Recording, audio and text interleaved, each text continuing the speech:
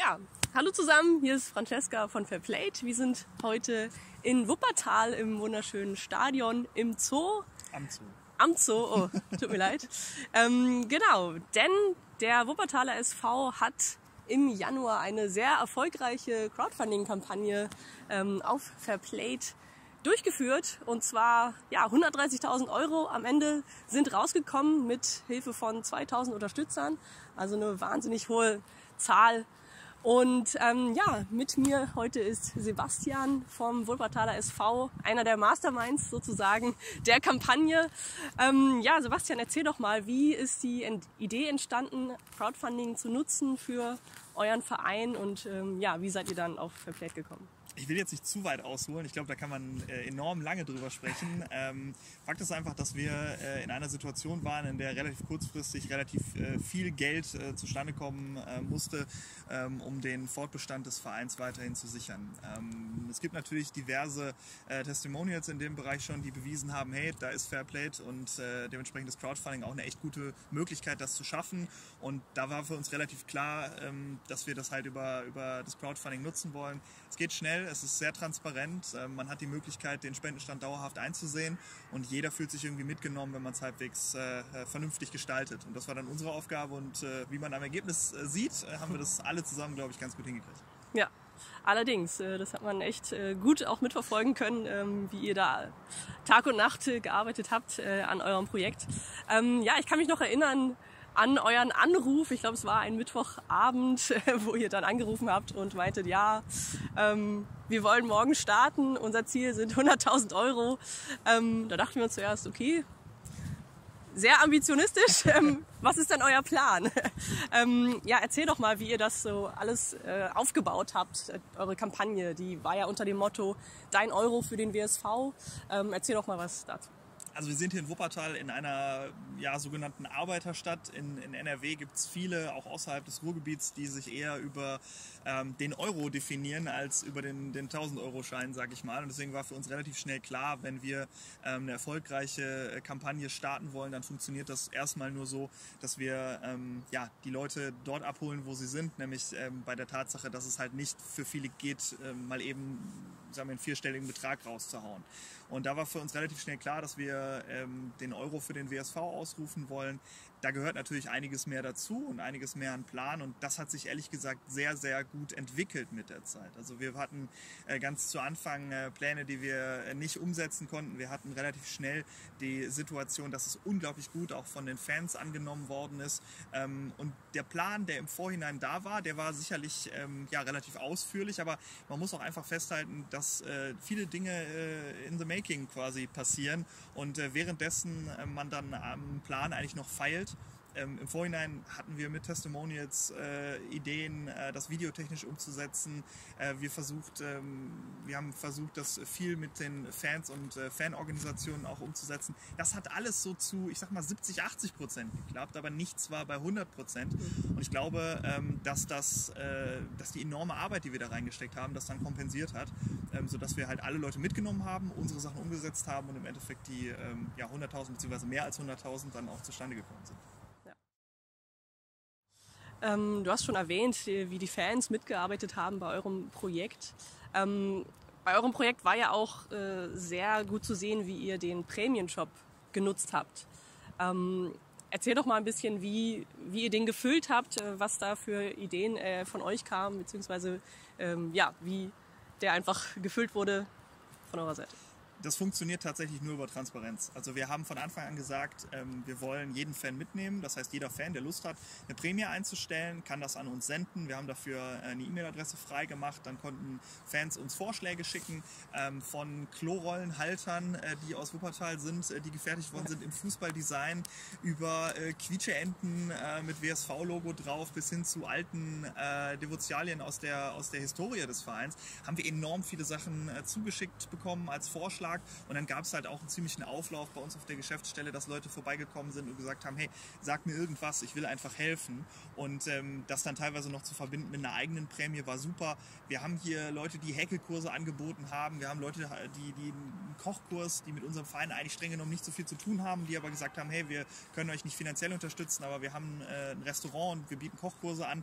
Ähm, habt ihr nicht Lust, äh, das auch noch zu verlosen? Also es war enorm, was von außen gekommen ist und dann geht es halt ans Einstellen und das war dann die äh, Arbeit von, von, von Tim und äh, von mir, der äh, Tim Leusmann, der Kollege, der ähm, ja im Prinzip äh, auch hauptverantwortlich war, das Ganze mit mir zu machen. Der ist dann eher für den grafischen Teil zuständig gewesen, ich eher für die Texte, die dazu halt auch gehören. Also ich finde es auch extrem wichtig, dass man das nochmal sagt. Äh, Bild ist schön, Text ist auch schön, aber das funktioniert halt nur zusammen und dann halt die Preisfindung und die ist enorm schwierig. Man weiß nie so richtig, was ist ein 40 Jahre altes ähm, äh, Wappen wert, was kann man dafür verlangen und ähm, ja, das war halt auch enorm schwierig, das so äh, festzuhalten. Es ist aber enorm einfach. Also man kann äh, im Backend äh, von Fairplay enorm einfach die Sachen einstellen, äh, einen, einen Wert festlegen und dann ist, wenn man das vorbereitet hat, innerhalb von 60 Sekunden eigentlich eine Prämie drin.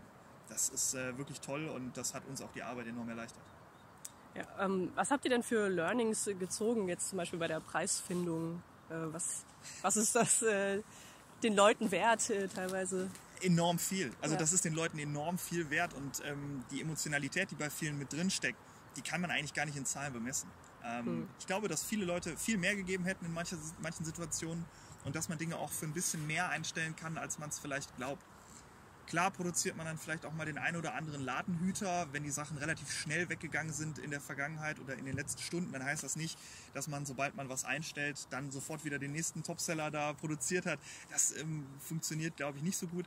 Aber äh, man soll sich ruhig ähm, auch mal den Mut antun und sagen, hey, dann setze ich nochmal 50 Euro drauf und äh, kann somit dem, dem Ziel, was vom Verein oder von der Organisation eben kommt, deutlich näher kommen.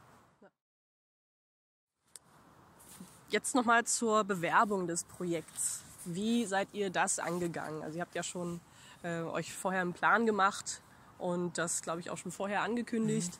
Ähm, erzähl doch mal was Hinsicht. Also es funktioniert, äh, glaube ich, sehr gut über soziale Medien heutzutage. Ähm, Facebook, Instagram haben wir eigentlich äh, dauerhaft bespielt. Ähm, die Story bei uns bei Instagram hatte, glaube ich, durchweg irgendwie 15 bis 20 Posts. Es funktioniert sehr gut übers Verlinken ähm, bei den, bei den Instagram-Postings und man muss halt alle Leute im Boot haben. Also bei uns war das so, dass wir auch enorm viele Spieler hatten, die dann da mit dabei waren. Die haben natürlich auch eine gewisse Reichweite ab einer Spielhöhe. Ähm, Jungs, die vorher in der zweiten, dritten Liga gespielt haben, die haben natürlich ein paar mehr Follower als vielleicht jemand anders, der gerade aus der Jugend gekommen ist. Das hilft auch enorm. Also je mehr Multiplikatoren man da hat, desto besser. Äh, über die sozialen Medien auf jeden Fall, auch über die Presse äh, kann man das sicherlich tun. Wenn man eine lokale Presse hat, die einem gut gesonnen ist, funktioniert das vielleicht noch ein bisschen besser als bei uns. Aber ähm, das funktioniert auch sehr gut über die eigenen Medien. Wir haben ähm, fast 18.000 Leute, die uns auf Facebook folgen, 5.500, die uns auf Instagram folgen. Also man darf die Followerschaft da tatsächlich nicht unterschätzen, wenn man das Ganze verbreiten möchte. Aber es kommen auch Rentner, die wahrscheinlich von Instagram noch nie in ihrem Leben was gehört haben und sagen, ich habe es irgendwie gehört, Kumpel in der Kneipe hat es mir erzählt. Und ich habe hier 500 Euro und ich würde die, würde die ganz gerne spenden. Also jeden Weg, den man ähm, irgendwie ausloten kann, den sollte man auch ausloten und da sich vielleicht auch nicht blenden lassen ähm, von, ähm, falls das äh, junge Leute machen, so wie ich es ja auch nun mal einer bin, äh, dass es halt nicht nur über die Social Medias funktioniert, aber eben auch. Ähm, du hast erwähnt, dass ihr die Spieler mit eingesetzt habt. Ähm, mussten die denn sehr davon überzeugt werden oder haben die das gerne gemacht? Wir haben keinen Spieler selber angesprochen. Also das so, ist die ganze Zeit so gewesen, dass die Jungs so eine Eigendynamik entwickelt haben. Wir haben keinen Spieler selber angesprochen. Der erste, der glaube ich zu uns gekommen ist, war äh, der Peter Schmetz, Innenverteidiger von uns, spielt schon lange beim WSV, äh, arbeitet hier äh, in Wuppertal. Wir haben kein Vollprofitum hier, das heißt, die Jungs gehen teilweise vormittags arbeiten, nachmittags zum Training. Und er hat sofort gesagt, ey, ähm, wenn ich irgendwie was helfen kann, ähm, sagt Bescheid. Ähm, ich könnte ja zum Beispiel mal mit einem Fan ins Kino gehen. Und daraus entwickelt sich enorm viel. Also Ja. wenn man jemanden hat, der sagt, hey, ich bin Vizekapitän hier, ähm, ich spiele hier seit fast fünf Jahren, ähm, die Fans kennen mich, äh, stell mal was ein von mir. Und dann haben sich Dinge entwickelt, die einfach äh, eine gewisse Eigendynamik äh, hatten. Äh, dann haben wir ein Feierabendbier mit unserem Trainer eingestellt. Wir hatten äh, Trainingseinheiten, die von dem Trainer und auch von, von Peter ähm, äh, gegeben worden sind, die auch allesamt weggegangen sind und was ich auch sehr toll fand, ähm, sein Innenverteidiger Kollege von Peter, der Thjorben Ophoff, hat zum Beispiel eine riesig große WSV-Leinwand selbst ähm, designt. Und ähm, da hat man natürlich dann Glück, dass man Jungs hat, die äh, neben dem Fußballspielen noch ein anderes Talent haben, nämlich bei ihm in dem Fall, dass er künstlerisch sehr begabt ist. Und er hat dann da eine Leinwand hingelegt, die, die unglaublich war. Und das hat dann alleine nochmal äh, 500 Euro, glaube ich, gebracht. Und jeder Spieler, der bei uns hier spielt, der tut es nicht fürs große Geld, aber die Jungs haben eine große Verbundenheit zum Verein und das haben sie damit mal wieder gezeigt. Ja, das hat man auf jeden Fall gesehen, dass, ähm, ja, dass da auch viele Prämien dazu kamen von den Spielern. Das ist ja immer was Besonderes für die Unterstützer, weil Auf sie das Fall. sowas sonst halt nicht einfach erwerben können. Ähm, das ist ja auch einer der äh, ja, Überzeugungspunkte, warum man dann auch unterstützt. Ja, was würdest du denn sagen, waren die Haupterfolgsfaktoren für euer Projekt? Äh, Kommunikation ist alles, wie im Leben. Ähm, also wenn man miteinander spricht, auch mit euch von Fairplay, ist das immer ein ganz guter Hinweis. Ähm, ihr habt da einfach gewisse Erfahrungen auch bei anderen Projekten gesammelt und da sollte man auch drauf setzen. Äh, wenn man also Fragen hat, ähm, es gibt ja, ich denke mal, es ist ja nicht nur bei uns so, sondern auch bei allen anderen die Möglichkeit, euch da fast Tag und Nacht anzurufen, was wir auch gut genutzt haben, glaube ich. ähm, und äh, das ist äh, sehr, sehr, sehr, sehr gut, glaube ich, wenn man das so umsetzt. Im Allgemeinen, ähm, die, die große Verbreitung, die man schaffen muss, um äh, eine Resonanz zu bekommen bei Fans, bei den Medien, die ist enorm wichtig und halt extrem viel Manpower. Also Sachen einzustellen, ähm, immer wieder die Leute dazu zu bringen, die Seite zu aktualisieren, äh, Klicks zu generieren, damit sie sehen, hey, da ist noch eine Prämie. Eigentlich wollte ich nichts mehr kaufen, aber das ist so super, das will ich mir unbedingt sichern. Ähm, das haben wir enorm oft gehört als Resonanz, ähm, was äh, uns dann teilweise auch sehr mitgenommen hat, sage ich jetzt mal emotional, dass Leute wirklich ihr letztes Hemd gegeben haben. Funktioniert aber halt nur, wenn man kreativ ist und wenn man extrem viel Zeit da reinsteckt. Also wir haben sicherlich vier bis fünf Tage der zehn Tage bis zu 16 Stunden hier verbracht, um das alles eben einzustellen und ähm, um uns für jeden, der daran interessiert ist, dass der Verein weiter besteht, äh, auf Deutsch gesagt den Arsch aufzureißen. Und ähm, das ähm, ist dann auch ein wichtiger Erfolgsfaktor, ohne Frage.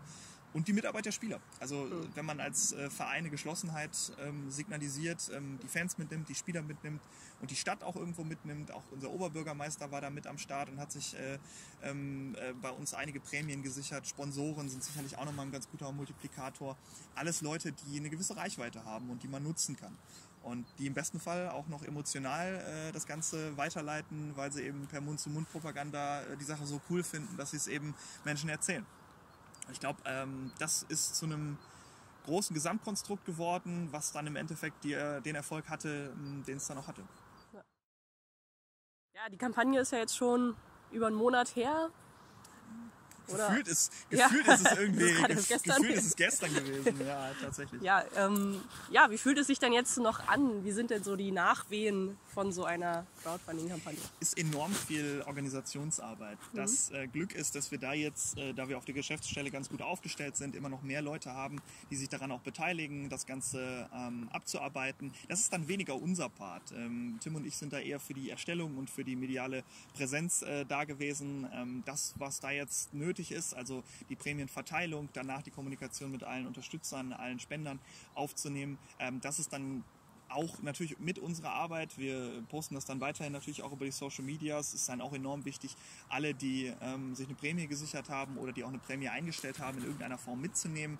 Wir haben hier das letzte Saisonspiel, wo wir alle, ähm, die eine Prämie hier eingestellt haben, nochmal einladen, persönlich auch, ähm, weil wir gesagt haben, hey, das ist super, dass ihr uns, ähm, wenn ihr auch nicht monetär gespendet habt, teilweise war das aber trotzdem so, dass ihr monetär gespendet haben, ähm, wenn ihr das schon gemacht habt, dann klar, kommt her, wir machen eine kleine, kleine Party hier sozusagen am, am letzten Spieltag.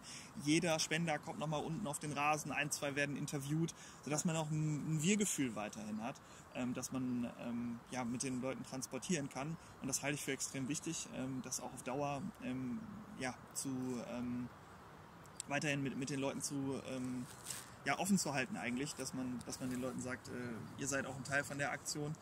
Und ähm, für uns geht es jetzt darum, die Prämien zu verteilen. Da sind wir gerade mittendrin in den letzten Zügen, um zu sagen, hey, am Montag geht es dann los, dann könnt ihr die Prämien hier abholen. Teilweise werden die Sachen verschickt. Wir haben Unterstützer aus der Schweiz gehabt, aus Österreich, aus der Türkei, aus äh, den USA sogar, aus allen Nachbarländern eigentlich von Deutschland. Und das ist enorm. Also wir haben uns auch die Mühe gemacht, die Texte, die wir ähm, geschrieben haben, auch in andere Sprachen zu übersetzen, weil wir ganz genau wissen, hey, Traditionsfußball ist einfach eine Marke, egal in welchem Land. Und äh, traditionsbewusste Fußballfans zu erreichen, ist unabhängig von Grenzen. Und wir wissen, dass das eben auch gefruchtet hat. Und ähm, das ist eine tolle Sache. Aber das verursacht auch, dass man enorm viel im Nachgang machen muss. Und da sind wir gerade mitten im Prozess. Okay, ähm, zum Schluss würde ich dich gerne nochmal nach einem oder nach deinem Number One-Tipp für äh, zukünftige Projektstarter fragen. Ähm, tatsächlich das, was uns ein bisschen gefehlt hat, glaube ich, ähm, nämlich eine sehr detaillierte Vorlaufzeit und Vorbereitung. Mhm. Ähm, da kann ich auch ganz selbstreflektiert reden, ähm, wenn man selber von, von den Vorständen oder auch von der Gesamtführung des Vereins relativ kurzfristig darüber informiert wird, wie das bei uns einfach war. Das war für uns auch ein Schock, dass so viel Geld dann in dem Moment fehlt ähm, dann ist das natürlich nicht der Best Case. Da muss man, das habt ihr ja auch gemerkt, ne, wenn man euch dann schnell anruft und sagt, hey, es muss jetzt im besten Fall morgen alles stehen, kann klappen, muss aber nicht. Also wenn man die Möglichkeit hat, das vielleicht über zwei, drei Wochen oder vielleicht sogar vier Wochen vorzubereiten, weil man weiß, hey, das steht an, es ist nicht existenziell, aber es ist für uns wichtig, dass wir ähm, ja, das äh, Projekt durchkriegen, dann ist das, äh, glaube ich, was, was alle ähm, ja, auch ein bisschen ein bisschen Ruhe gibt, die uns dann auch gefehlt hat. Und ähm, das heißt nicht, dass es dann nicht klappt, wenn man es kurzfristig macht. Also das, das ist es nicht. Aber mehr Vorbereitung liefert einfach äh, ja, mehr Sicherheit in dem ja, Bereich. Auf jeden Fall, ja, das stimmt. Ja, vielen Dank, Sebastian. Äh, das Gerne. waren sehr viele auch äh, ja, wertvolle Worte für, für uns und auch für unsere Zuschauer und äh, ja, zukünftige Projektstarter. Ähm, ja, vielen Dank. Äh, wir freuen uns äh, vielleicht über euer nächstes Crowdfunding-Projekt und wünschen euch natürlich auch viel Erfolg weiterhin äh, für die Restsaison und für die Zukunft. Vielen Dank.